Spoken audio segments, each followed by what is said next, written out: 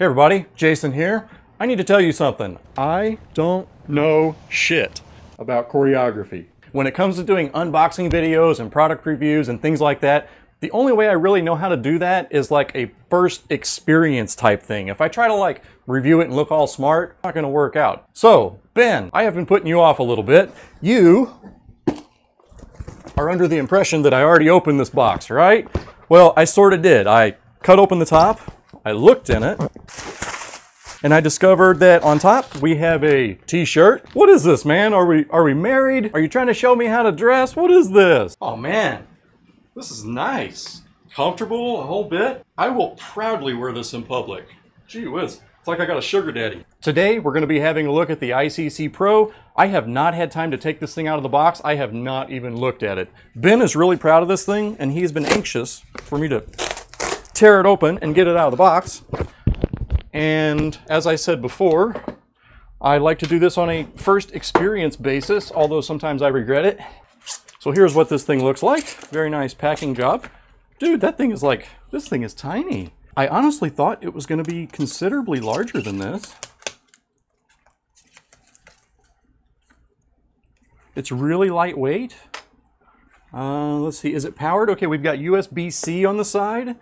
Let's see what this thing does. What this is supposed to do is enable you to test the TriStar IC or the Hydra IC that, ugh. It is supposed to enable you to test the TriStar IC or the Hydra IC that is inside the phone uh, this chip has a lot to do with charging and the phone's ability to charge. So on a lot of models, it's really easy just to swap out the TriStar IC just as like a diagnostic measure. But on some models like the iPhone 10R or like the iPhone 5, it really, really sucks to swap out the TriStar IC or the Hydra IC. It's supposed to enable you to be able to test that chip without like taking the phone apart. And I've never used one of these, so I don't know how, how well it works. I have a iPhone 6s that I know most likely has a good TriStar IC.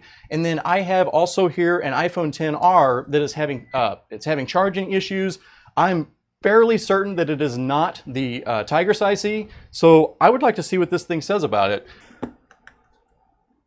Oh, look, when I push the button, it comes on. Oh, nice. It's got a rechargeable battery inside. Okay, Ben, you're selling me. I like good tools. And uh, this thing lighting right up and coming on like that, this is this kind of this makes me feel good. So let's see what it says about this phone. Oh, cool! It's got your it's got your website address on it too. That is massively impressive. Dock Flex test. Check Dock Flex. Hmm. Okay, let's flip it over. I'll have you know, this is my son's phone. And although he does abuse it, it charges normally. You know, maybe I'm supposed to turn it on and then plug it in. Dock Flex test. IC test. Yeah, so this thing, this phone's most likely got like a dirty pin or something, and it's only working on one side. TriStar Hydra OK.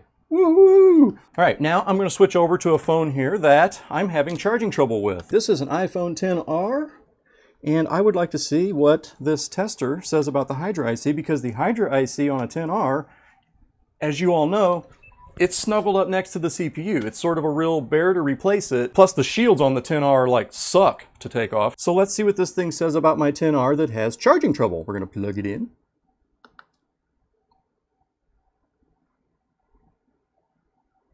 Dock Flex test. IC test.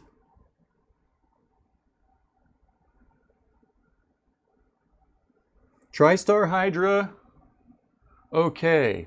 See, this is sort of where I'm getting at on this type of thing. On this phone, normally, once I've reached a point where, okay, I think it's TriStar, the best way to diagnose TriStar would be just to replace TriStar. But on something like a 10R, replacing TriStar really, uh, you know, it's not that difficult. The shields are hard to take off. It's, it's sort of labor intensive, you know, it takes effort. It's not a really, really easy thing. So to be able to check and see if that chip should be good without taking it off the board, that means a whole lot. So I'm gonna be doing some tinkering with this thing. I'm gonna plug it into a USB-C, love USB-C. And I'm going to be using this and seeing how accurate it is and seeing how this works out for me. This is something that you will likely be seeing on the channel here because I like tools and I like things that save me time. And this, I feel like could save me time if it knows what it's doing and it's telling me the truth that this Hydra IC is good because uh, I know it's not the Tigris IC.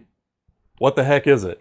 If you're interested in buying one of these, you can pick this up from iccpro.de. The website is all in German, but Ben said that there is an English version coming soon. And also, it is said that there is a secret hidden feature coming soon. So I, I, I don't know what that's all about because, well, because it's a secret.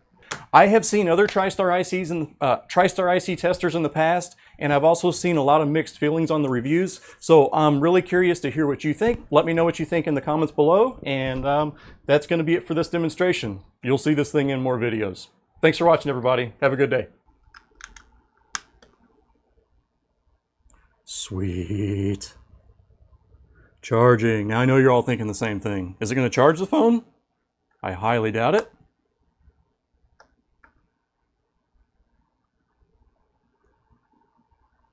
Charging. So you actually have to charge the battery and then use it. It looks like it's not going to work while it's charging. Eh, no biggie.